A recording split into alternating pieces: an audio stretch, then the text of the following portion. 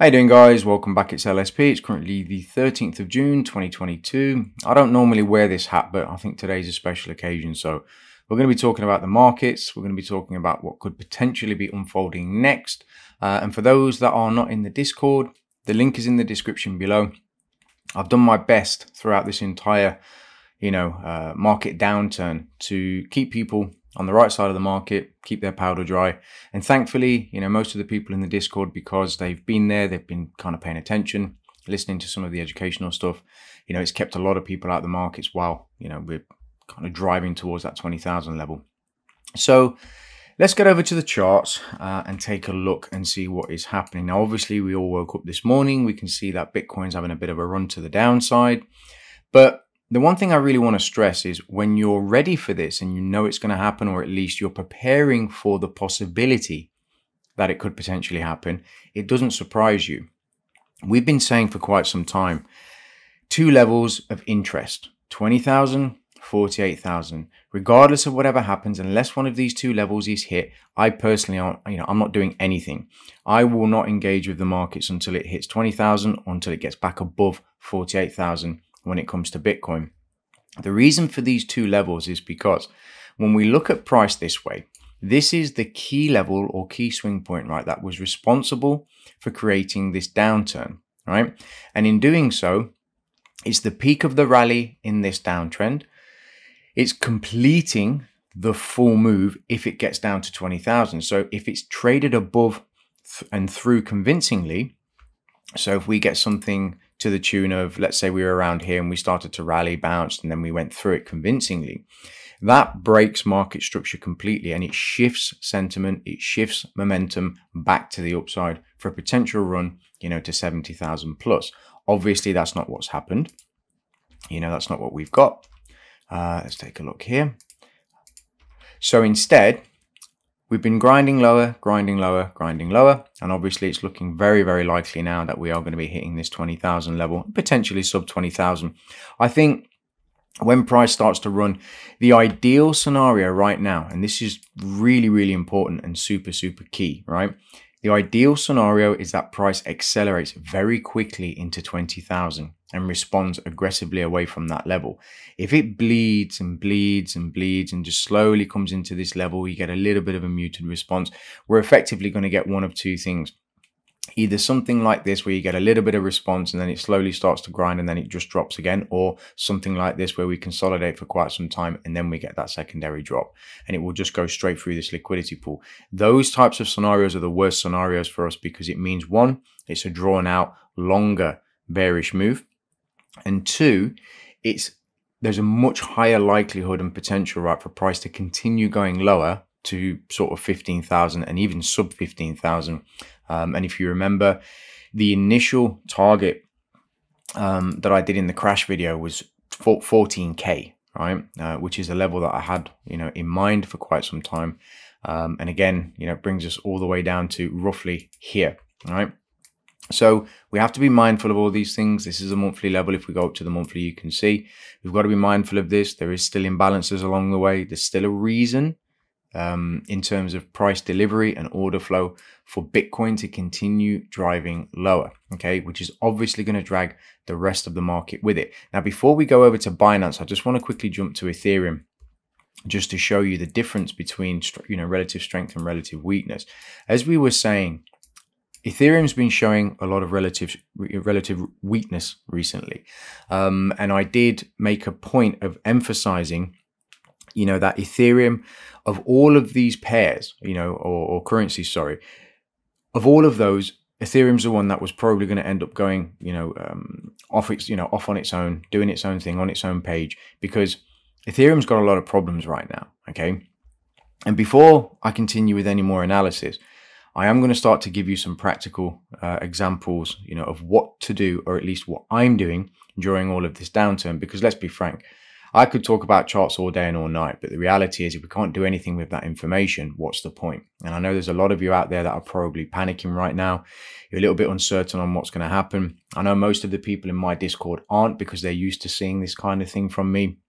And obviously, you know, I've been keeping people calm and I've been kind of guiding people you know, through what to do, what not to do, and so on. It's not financial advice, but it's always educationally, you know, based. But the point is, I'm going to give you practical examples of at least what I'm doing, like I said, so we can start to figure out the best way out of this, you know, this mm, downturn. We'll just call it a downturn, right? I don't really like using the word crash, but we'll, we'll just say downturn, right? So Ethereum, obviously, you can see it started to accelerate and it's accelerated straight through this liquidity pool. So that's gone. Where is the next level of key significance? Hmm. To be fair, and if we're going to be completely blunt, don't really want to be seeing this, but and this doesn't mean that price is of course going to go down here, right? But if this accelerates and we get a really nasty downturn on Bitcoin, okay, and Ethereum continues to have its problems, they held off doing the difficulty bomb. They've, you know, held off and potentially pushed forward now again, yeah, the merge and so on and so on. These problems are consistent. They keep coming up all the time. They're saying we're not going to you know, um, you know, not, you know, not deploying the difficulty bomb or stopping it is basically not going to change the fact that we are going to merge this year and so on. We've heard all of this stuff before with Ethereum and people are getting a little bit fed up. And to be honest, there's people on the fence about putting their money into Ethereum in terms of the 32 minimum to stake. You've got people, you know, that are already in Ethereum that haven't staked their 32 that are just thinking, you know what, I'm going to pull my money from Ethereum for now. It's probably going to continue going lower. I'll grab it, you know, at 700 or 1000 or whatever, you know, the case may be. And when you look at the mechanics and the distance between what's actually happening with Ethereum down to here, you're talking about another 40%. It really isn't that big of a deal. So another 40% down and you're hitting these key levels down here at 750 yeah, and this is the monthly chart which basically means if ethereum does eventually come down to 750 i think that would be probably one of the the the, the biggest opportunities uh, in terms of like the overall market um, that we're going to see within our lifetime. We're not going to see moves like this again. I think once this finally settles, regardless of however long it takes, maybe six months, maybe a year, maybe going into you know sort of mid next year, regardless of however this, however long this takes, and however long it takes to unfold and pan out. Ultimately, I think this is the one for us. This is the final opportunity to start to really engage in the markets and really start to put ourselves in a position, right, that years and years down the line, we'll be able to uh, pass on what we've made to our children, you know, and our children's children. Uh, and I really mean that. You know, this is a once in a lifetime opportunity. We won't see this again in our lifetime, I don't think. It's either that or everything just crashes and burns and you know the market ceases to exist right which to be fair that's a real possibility as well especially with the way things are going in the world right now but anyway i digress let's go over to binance and take a look at binance because obviously a lot of us are predominantly on the Binance Smart Chain. We're going to use this chart. You can see the absolute key level. You guys know I don't make this stuff up. I mean, it's gone up there. It's tagged that level absolutely. It's, it's, such a finite level. It took me a while to actually find this level, you know, with the, you know, with all the analysis that I was doing, dropping down time frames, tick for tick for tick. But you can see, and obviously this was on the chart way before, as you guys know by now. Um, just shy of that level, get a nice little reversal, and then obviously prices started to accelerate to the downside. Um, there is liquidity below these lows, all right. So it's very likely, you know, that we're going to tag these lows, probably hit around about 200, possibly sub 200. Uh, the full liquidity puts us around about 185, so it is possible um, that Binance sees 185 at some point. Um, in doing so, you look at the ratio between Bitcoin hitting 20 and sub 20 um, and where that puts Binance, it should put Binance actually past this liquidity pool around about 175.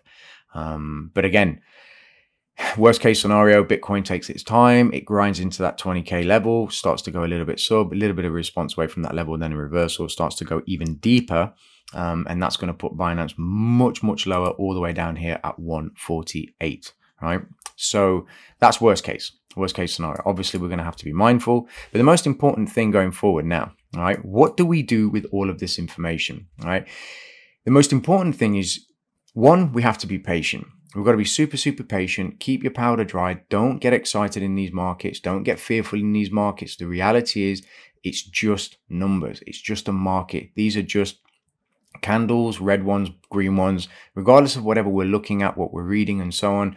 It's very easy to be inundated, right, and be pulled into this emotional response when it comes to the markets, right? That's not what we're here for. I keep saying this and I'll say it again. We're professionals. We're here to make you know, informed decisions based on the information that's being presented to us, right? I know, for example, right, that there are people who've DM'd me personally saying, What do you think to this, that, and the other? And I've been very careful how I respond because I don't want to give financial advice. But those people were asking me you know, asking me these questions when bitcoin was around 50,000 40,000 30,000 and I'm saying listen just relax. Let the market tell you what it wants to do. Yeah? Not a direct don't do anything. The market's going to 20k I have to be subtle about this because I don't want to be in a position where I'm telling people what to do. You know it's, it's I think that's irresponsible. But I think going through this process and this kind of you know back and forth with with people either through DMs or Discord or whatever the case may be puts people in a position right where they can stay calm, they can see this unfolding, they watch the levels, they notice certain things, price starts to run lower, it starts to go, and then ultimately they don't engage because it's like actually what is the point of engaging unless bitcoin hits 20k if it doesn't and we see a reversal let bitcoin prove itself why do we want to be in, you know engaging in these markets when it just doesn't make any sense? I haven't seen and we haven't seen anything from Bitcoin right that tells us that it's going higher.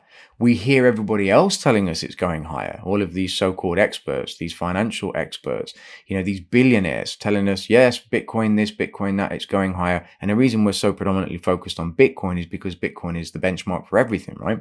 So we hear everybody else telling us what to do with our money buy Bitcoin, buy Bitcoin. Nobody's saying, hang on a minute, don't do anything. Just let Bitcoin prove itself. Why would I listen to a billionaire who's already a billionaire to tell me what to do with my with my money? I'd rather listen to the market. I'd rather watch the market and let the market tell me, actually, I'm not quite ready to be going up yet. Just wait, just chill. There are some key levels. When these prices get, you know, when, when price gets to these, um, you know, these key levels, then we can start thinking about engaging. Now, I know there's also people out there who are in, say, reflection token projects and thinking, are these projects going to survive? Are these projects going to be around? Am I in the right ones? Should I be panicking? Should I be pulling my money out and everything? And to those people, I will say this.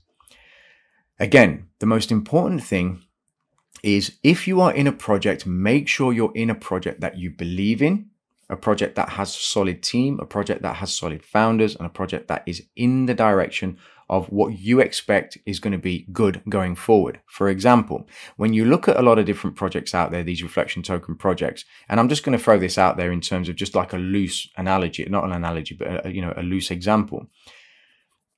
There is, let's say, you know, a, a project out there does a launchpad for argument's sake, right? And that launchpad launches cryptocurrency, you know, projects in this type of market where it's going to be a little bit challenging for you know projects to be launching unless they do certain things you know and that project for me personally will struggle a lot more than a project that is for example putting money outside of the cryptocurrency market and investing in say you know i don't know a, a restaurant just for argument's sake. I know these are stupid examples but it's a good way to really sort of explain the difference between making money outside of cryptocurrency and depending on cryptocurrency. This is a massive, massive difference. When you have projects that are solely dependent on cryptocurrency and the cryptocurrency market, that project is going to struggle during this downturn. Right. So whatever project that you're in, make sure that that project is solid. Make sure that the technology, the services, the products that they are in the process of developing and delivering are have a use case everywhere not just in cryptocurrency, but also outside of cryptocurrency in the traditional markets, traditional finance, and traditional world, right? So, NFTs, big one. NFTs are going to be around for a very, very long time. For those of you that don't know, there was actually an article posted, um, thanks to one of my members for, for showing me this, but there was an article that was posted um, where a subpoena, I believe it was, or um, it was, I've tried to find the, the article again. I had to quickly scan through it yesterday at two o'clock in the morning, but um, the the papers were served using an NFT, which is absolutely phenomenal. I mean, I, you know, fair enough. I'm not sure what's going on, and I hope you know that kind of all sorts itself out. I don't wish any ill on anybody, but the the legal firm served the papers to this person or, or company using an NFT. That is phenomenal and definitely something that is going to be incorporated into our world. NFTs are going to play a huge role in everything that happens going forward focus on projects that are looking for revenue outside of cryptocurrency, but are also incorporating NFTs, but also incorporating means to create a sustainable ecosystem and so on and so on and so on. Don't look for projects that are hype. Don't look for projects that claim insane APYs. Don't look for projects that make no sense. If you're in a project or if you're looking to get into a project and you're seeing something like, we guarantee this, we promise this, we just be careful. Just be really, really careful. Remember, this is your money. And you want your money to be around in years to come. And you also want your money to be growing in years to come. And you also want, especially with reflection tokens and these dividend style tokens, to be paying you in years to come. All right. So with all of that said, I will be updating everybody later this evening. Probably going to jump on on a live stream. I hope everyone's having an absolutely fantastic day or evening wherever you're on the world. And remember, when things get like this, just go and put the kettle on, make yourself a nice cup of tea or coffee or whatever your you know choice of beverage is. Just chill, relax, let the market do its thing. Trust me, there will come a time when this is going to turn and price is going to start moving to the upside. We will go from bear to bull eventually. And with all of that said. Take care, guys, and I'll speak to you soon. Ciao for now.